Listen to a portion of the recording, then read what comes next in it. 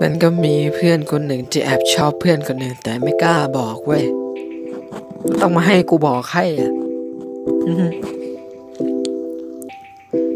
คือเพื่อนอย่างนี้ไว้คือผมน่ะชอบคุณมาตั้งนาน แต่คุณก็ยังไม่เคยจะรู้ตัว คือผมที่ผมคุยกับคุณตั้งนาน คุณน่าจะรู้ตัวได้แล้วนะที่ผมทักไปที่ผมโทรไป คือผมเป็นห่วงผมห่วงคุณมาก ไม่อยากให้คุณไปยุ่งกับคนอื่นแค่อยากให้คุณนะคุยกับผมแค่อยากให้คุณนะอยู่กับผมแค่อยากให้คุณนะคิดถึงผมถึงแม้ผมจะดูงี่เง่าแต่ผมก็รักคุณ ถ้าคุณน่ะรักผมจริงผมขอได้ไหม ได้ไหมให้เธอได้อยู่กับฉันตลอดไป ขอได้ไหมให้เธอได้อยู่กับฉันจนทุกวันนี้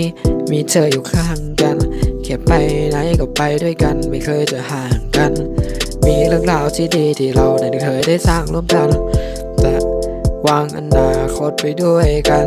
จะสร้างบ้านหลังเล็ก เล็กแล้วค่อยขยายไปใหญ่ ใหญ่แล้วทำอะไรด้วยกัน มีโลกด้วยกันสักสองสามคน